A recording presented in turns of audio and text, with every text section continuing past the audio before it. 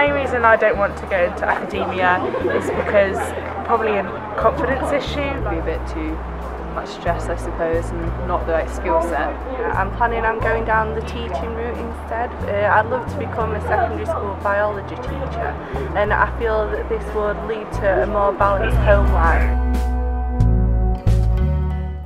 was the realization that I didn't want to talk about other people's science. I wanted to actually be creating science myself. I felt that it would give me the freedom to do something really new. It's just a brilliant career in order just to be able to do what you want and have the freedom to carry out research.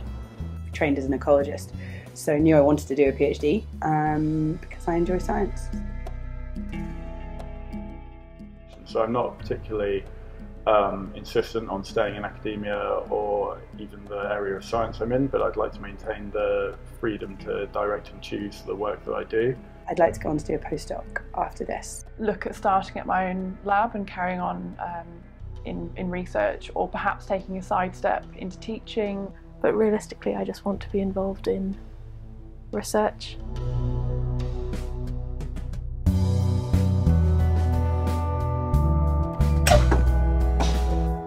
Because everyone is studying something different and no one has done what you have done before, it's very hard to assess yourself. I worry that I'm not creative enough with my ideas. Making sure that we can get get it so that we yeah we get enough life alongside work so that I stay in science. Generally, one always wonders whether one is good enough to be in the position you've been put in. And I've been, I say that I've been lucky enough to end up in the position I'm in, but it has been a huge amount of hard work as well. Being worried that people don't take me seriously. The fear is that, that I, you know, I'm not good enough for, for the job that I'm in. As with many women, are probably lack of confidence. It can relate to a level of ambition, but also whether one can see role models at those more senior positions.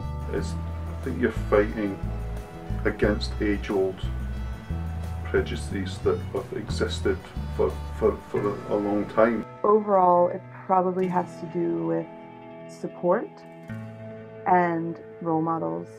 This is why the Athena Swan program is such a fantastic thing, because I don't think anyone really knows why women leave science.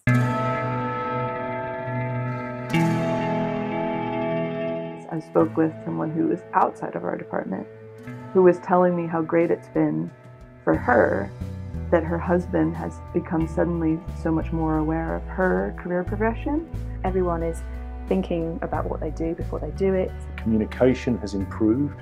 Um, you know, the fact that you're sitting here making this video, asking me these questions means that, that things have changed. It's always there now, which is great. Athena Swan means to me fairness, and I don't think there's anyone in the world that would argue that being fair is a bad thing. People have been using Athena Swan in so many different ways. You know, that's not very Athena Swan. It's something I hear all the time. Um, as a principle, I see it as something that's rather than um, necessarily to do with sexism or um, gender so much as preconceptions of people.